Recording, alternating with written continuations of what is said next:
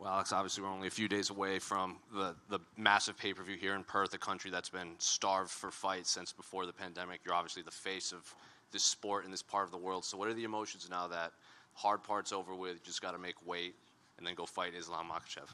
Yeah, yeah, now the fun part. But uh, yeah, it's good. Good to be back here, not only in Perth, obviously Australia. Uh, as I've been saying all week, all uh, us Aussie fighters or from this region, Australia, New Zealand, we deserved uh, an event over here. Uh, not just us. Uh, obviously, I deserve to, to fight in front of home crowd, defend a belt or fight for a belt, whatever it is. And then you've got the fans who deserve uh, an, an, event here and having their, their uh, local fighters fighting here too. And obviously, the rest of the card is stacked with these Australian fighters too. Are a lot of them kind of viewing you as like the guy that will take this sport into the next level here in Australia now that they can come back after the pandemic? Oh man, like uh, it's obviously good for them to, you know, I'm sure they all believe in their skills. They've seen it, yeah. They've seen us uh, go go to the top. They've seen us get the belts. Um, but I mean, uh, you know, f- that's what obviously Robert uh, did that as well. So they got to got to see that, uh, which is always going to be motivating. And you know, oh, this can be done. You know, even from a small gym or wherever you are. Uh, but you know, now we're obviously going champ champ and, and going uh, real big and pound for pound and all that. So you know, I guess we are showing these guys coming up, or even the younger generation, that yeah, not only be a champion, not only um, do well in the UFC, you can be the best. You know what I mean? The pound for pound number one, champ, champ. You know, you know all that type of stuff. So uh, I think we are setting a good example. So that's you, good. You mentioned the pound for pound thing. You're number one. He's number two. Do you view him as the true number two pound for pound fighter in the world, or is it just that just something the voters voted for, like, gave him that? Do you view him as the second best fighter in the world? Oh man, like uh, again, these uh, this isn't up to us. You know what I mean? Like uh, people can ask me, you know, if you go and uh, take him out, you're going to be the the greatest uh, ever and all that type of stuff. That's not up to us. You know what I mean? Uh, do I think I had a harder path to you know pound for pound and all that? Yeah, like you know, look at my resume. resume. But um, do I believe he is as good as a number one pound pound? Yeah. Or number two pound for pound? Yeah, for sure. I believe he definitely deserves to be up here. He's a, he's a great fighter. So, uh, you know, uh, that I mean, yeah. Again, you, you, probably look at the resume, still a good resume, but it's probably not as uh, as uh, good and as deep as uh, some of ours. But at the same time, when it comes to skill, he's definitely right up there. Michael Chandler was breaking this fight down, and he said that uh, Islam is just brilliant at the basics. He does nothing wrong. He does he doesn't do anything flashy. Everything is just perfect. Did you agree with that statement when watching tape on him? Yeah, well, uh, he doesn't take unnecessary risks. You know, that's the that's the proper way of doing it. He does. Uh, we all know what they're good at and what they want to do. Um, they're calculated in that sense. You know, a lot, a lot of people. Uh, you know, obviously, you're seeing some people saying that he can he can strike. It's underrated, but then you're seeing a lot of people that you know say uh, it's not good. But I mean, uh, it is calculated.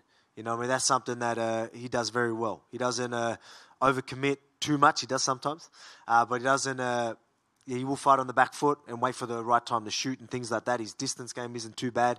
Uh, so little things like that is uh, he does well. Like I said, he's calculated. Um, you know what exactly did Chandler say? He was saying brilliant at the basics. At the basics, yeah, yeah, yeah. I guess so, but uh, I don't know about that. I think he's just uh, more calculated. That's probably an unnecessary risk. I think that's uh, what he's probably better at do you feel a sense that you need to represent Australian wrestling against him, considering everything he said about how Aussies don't have wrestling? yeah, there? yeah, for sure. You know what I mean? Like uh, coming to my, my, country and say we don't have wrestling. Yeah, all right. Well, uh, I'm gonna have to do something about that. So how how do you see the fight? shooting doubles from the get go. So how do you see this fight playing out? He says he, the, once you feel his power, like he he is very confident he can knock you out in that octagon. I just told you he's a very uh, calculated fighter. He uh, doesn't take unnecessary risks. Him coming uh, looking for a knockout, that's an unnecessary risk. He won't be doing that. And final one for me: What do you make of uh, the UFC announcing that Conor McGregor and Michael Chandler will be the coaches of the Ultimate Fighter this year? Yeah, I think think it's good. Obviously, it's always good uh, to have uh, Conor coming back to the sport. Brings a lot of eyes here, you know. It's uh, and uh, that'll be a fun fight as well. You know what I mean? And it's uh, I think it's uh, clever, clever for both of them clever for for Conor because uh, he can go and fight, and that's uh, you know they're both uh, powerful dudes. Obviously, it's a winnable fight because they're just going to go for it, so it's going to be entertaining. But I mean, that just puts uh, Conor right back in the conversations, you know, for for the belt and all that type of stuff. And for people to say, you know, he wouldn't deserve it, and there's no way they're going to do that. You're pretty crazy, right? Like uh, it's Conor McGregor, and if he takes out someone like a Chandler, you know his name's going to be mentioned. You know people are going to be talking about him. Uh, so it's it's interesting. It's good to look at because I plan on taking that lightweight belt and. I'm looking at, at seeing what's happening in, in the division. There's a lot of uh, potential matchups uh, after this one, but obviously first I've got to worry about what's in front of me. You, you also said you wanted to, you do plan on going back and, to featherweight and fighting the winner of the co-main event. How do you see that fight playing out? Um, I'm 50-50 on it. I think they're uh, obviously both are great fighters, and it just depends who, who turns up on the night with the right game plan. I think uh, again I'm 50-50 on it. I don't know, so I might know from one minute in the fight, you know. But uh, I'm yeah, obviously I think it's going to be a fun fight. You know what I mean? And um, yeah, good. I'm just I'm just glad uh, it's it's happening. You know, it's going to give me a, a pretty clear guy who's next. So when I go back down, so it's good because I want to be active, right? So uh, line these uh, next guys up for me because I want to ha- I want to have a very busy year. Alex, just to go back to uh, the car thing, uh, it seems like that fight's going to be at 170 though, and I guess that's where people are maybe you know debating could he even make 155 now mm-hmm. is one question, and if it's at 170, maybe that's where the argument of would he deserve it at 155 would come in. What would be your response to that? I guess. You know, it's uh, at the end of the day, it's uh, you know it, it is Conor McGregor, and you know when you pull on those types of, of numbers, and you got to remember he is always taking on uh, the the good guys as well, like the the good fighters.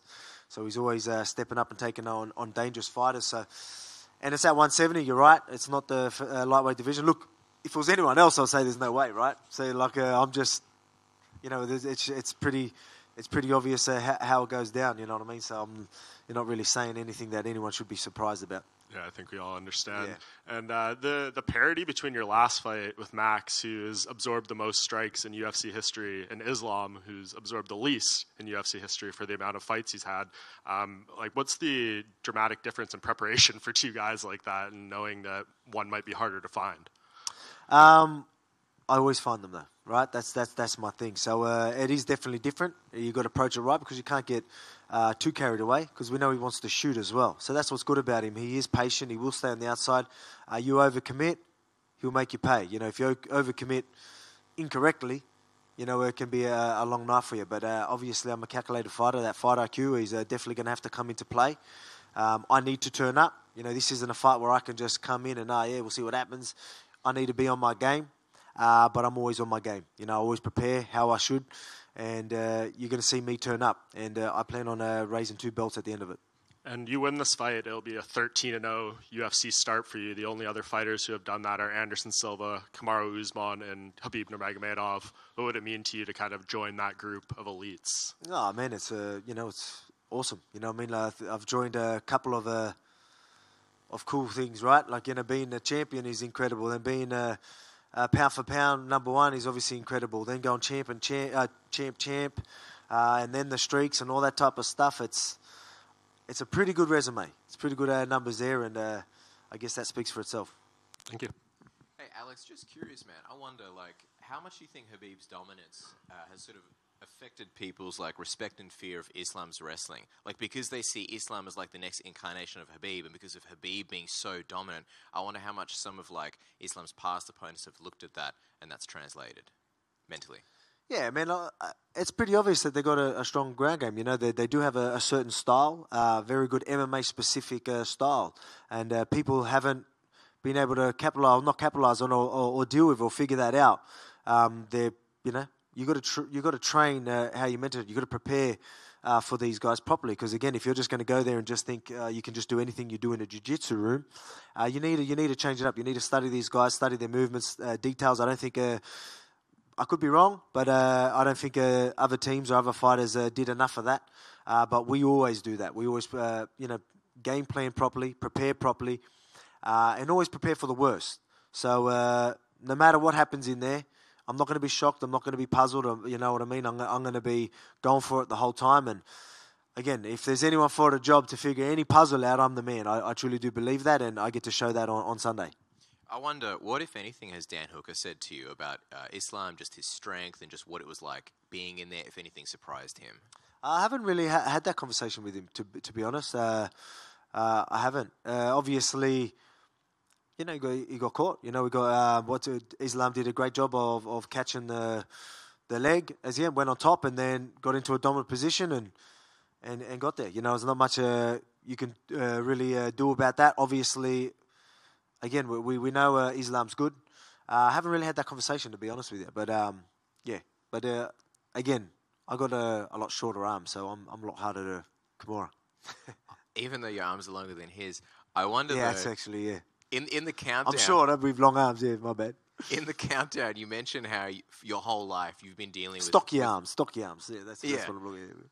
you the whole life you've been dealing with monsters of men and obviously the narrative here is like you know the size difference and i just wonder like when was the first time in your life that you took out a significantly you know bigger dude maybe even before like your professional fight career or just you you realize you had that ability in you Oh man, that's been happening forever.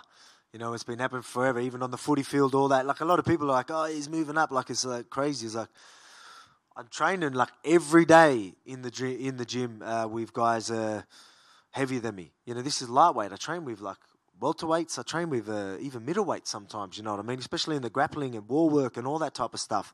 Uh, wrestling, like these are the guys I, I I'm usually grappling and, and doing them stuff with because the guys my size are obviously usually going to struggle with me there. So I usually got to go with the bigger guys. That's why people are keep mentioning the power uh, and size. It's not that. I, I look at it more. Uh, the the thing that to deal with is is their style. You know what I mean? Like their their grappling ability. They do certain things. Um, you know that's that's more of something that I'm looking at. Like not power. No one's ever just overpowered me. You know what I mean? Like uh, so. Uh, again, if he, if he thinks I'm just going to be some weak little uh, featherweight, then he's going to be in for a rude shock. There's a lot of talk about legacy with this fight. Uh, after it's all said and done, how does Alex Volkanovski want to be remembered?